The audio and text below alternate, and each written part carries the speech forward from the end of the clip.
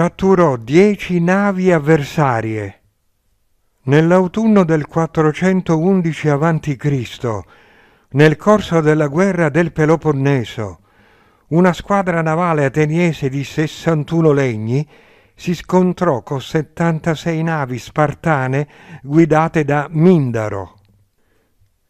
Il combattimento non si decise sino a quando in soccorso degli ateniesi non giunse una piccola flotta al comando dello stratega Alcibiade, che vinse la battaglia e catturò dieci navi avversarie.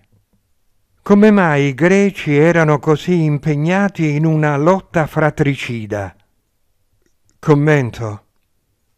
Perché agli inizi della loro storia le comunità fisiche, che poi si sono riconosciute come popoli, non hanno ancora creato, percepito l'unione e allora si fanno la guerra.